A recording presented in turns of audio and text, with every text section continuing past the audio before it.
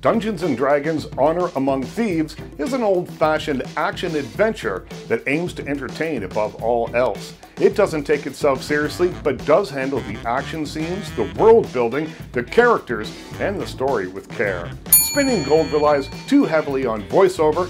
Sometimes it feels like there's more VO than actual dialogue in the film, but like the flamboyant executive and the music it is based on, the movie is unapologetically large and loud in its need to entertain the audience. Space Oddity has the feel of an after-school special with so many elements it feels like it's madly running off in several directions all at once.